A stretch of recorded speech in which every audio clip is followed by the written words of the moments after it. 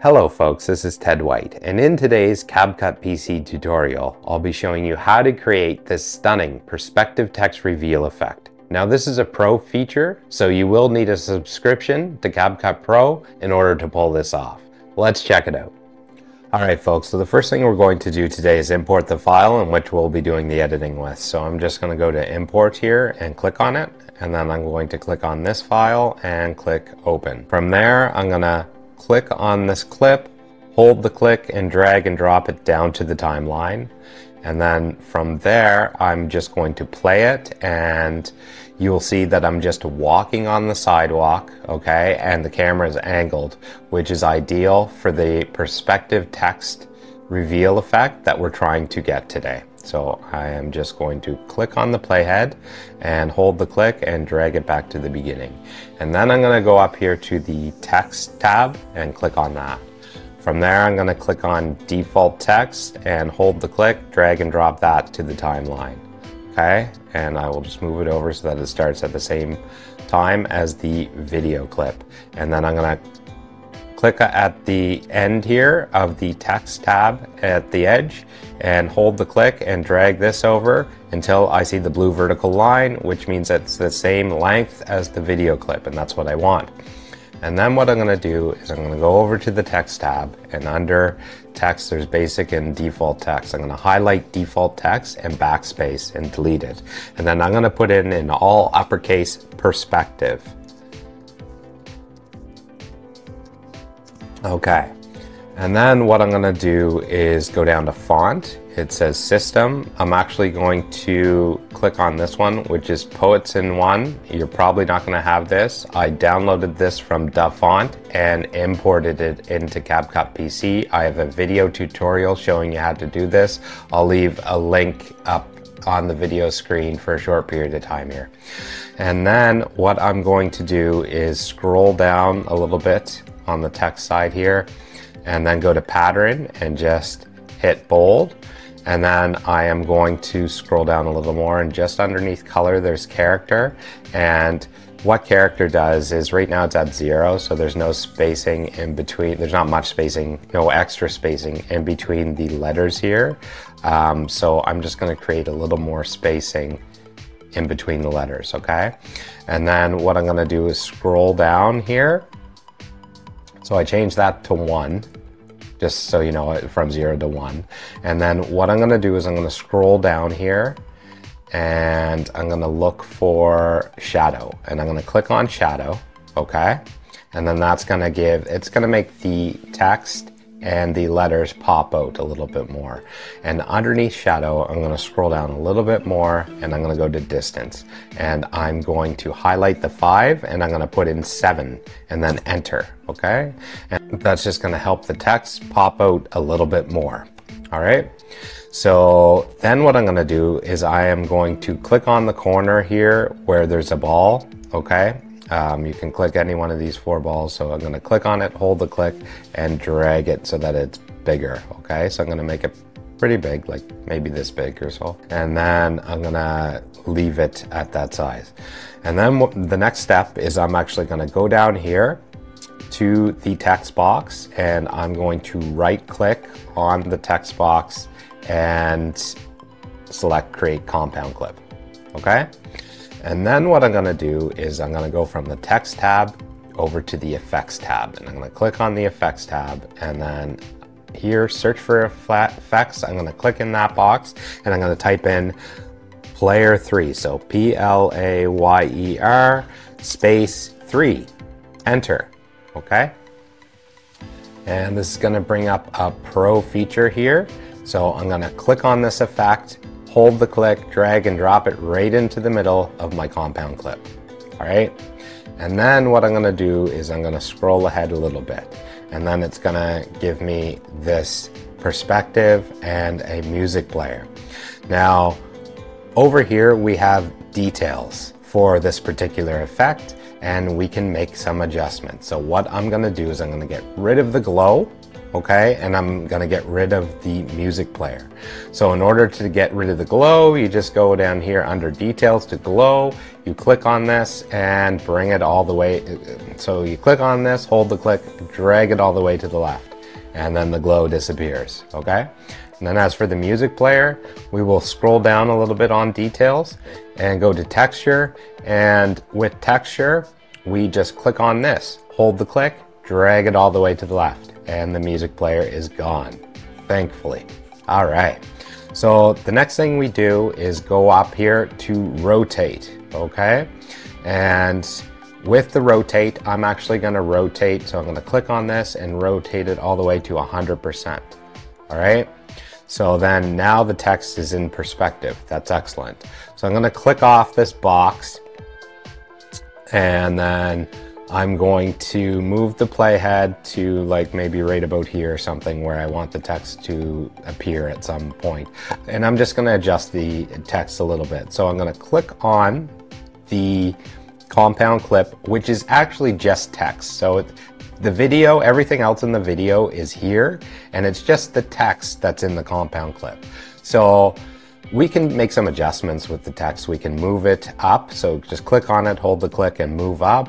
Um, uh, we can rotate it a little bit. So if we want to rotate it, we can hit the rotate icon here and just click on it, hold the click, and drag it up or down depending on what you want to do.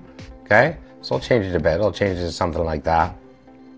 And this right here looks pretty good. I think I'm just going to make it bigger. Uh, so how I can make it bigger is simply just clicking on this ball here at the corner and holding the click and then dragging it just the same way we made the text bigger a little earlier on there.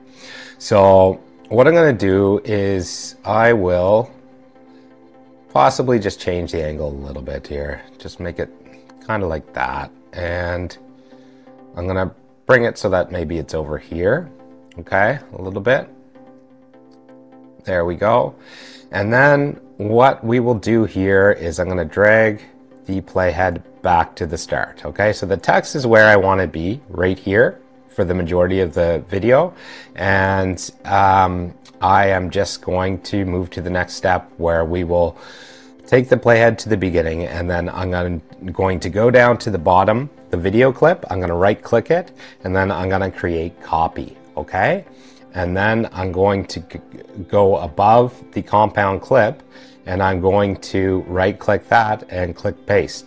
Now the pasted video clip automatically goes below the compound clip for some reason. So uh, it is highlighted, so the brand, the pasted one is highlighted, so that's the new clip.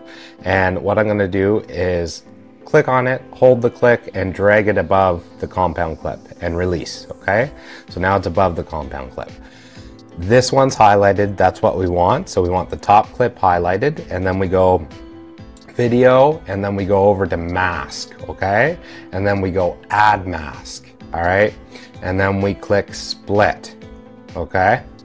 And then what we'll do is I'm going to move the playhead forward a bit. So I'm going to come back to the timeline here and I'm going to move the playhead forward so I can see the text and the text is where I want it to be. So I'm going to go like this. So what we do to rotate this is you click on the rotate button and you hold the click and drag it okay? And I'm gonna drag it to 90 degrees, which is the standard here, okay? And then I'm gonna click on the line that you see here, and then I'm gonna drag that left, all right? And this is where roughly I want all this to start. So what I'm gonna do is I am going to move the playhead forward a little bit so that I'm just right about, just right after it's going to start. Maybe leave a little bit of room because I'm going to use some feather for this. So then what I'm going to do here is I'm going to go down to mask and I'm going to add a keyframe, okay? And then when I added a keyframe here, it's automatically going to add a keyframe on the timeline. Now every time we move the mask forward, so we'll click on the mask, hold the click, drag it forward, and then release it. Every time it moves uh, to a different position, it will automatically add a new keyframe because we added an initial keyframe which signaled the start of a change. So that's what happens when you do keyframes. Just adds more when you move to a different position that was different from the original. So I'm also going to go to feather here and I am just going to bring a feather out a bit here. So there we go. Maybe, maybe this far or so. Okay, what we're gonna do is I'm going to move the playhead forward a little bit and then move the mask forward. Okay? To right about here. I'll leave a little bit of space between me and the text. And then we move the playhead forward so you click on the playhead, hold the click, and move it a little forward. And then you click on this line, hold the click, and move that forward. Okay? And then we're going to do the same thing. Playhead forward, and then mask forward. So you just repeat this process. Playhead forward, mask forward. Just leaving some air between my body and the text. So playhead forward, click on the playhead, hold the click, and then release, mask forward. So click on the line, hold it, and then release, and then it adds keyframe. Okay, so that's that's what happens playhead, forward, mask forward. Okay, so we'll just continue this process until we're done. Until we got the whole word spelled out.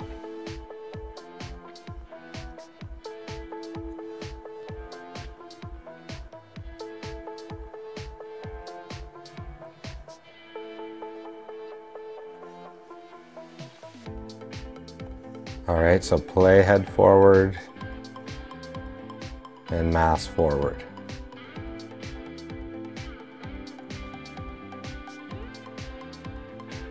And that should do it. Okay, so then what I do is I click off of it and then I'm gonna take the playhead and move it to the beginning and we'll see the final product here and I really hope it turned out okay.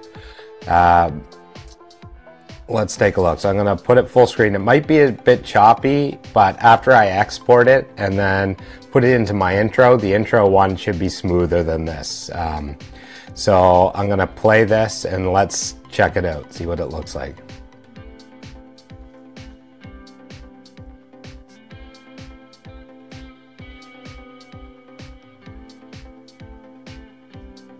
And that's pretty good. So folks, that is how you create a perspective text reveal effect here in CapCut PC. I hope this tutorial helps you out. I hope you have a great day. Thanks a lot. Bye bye.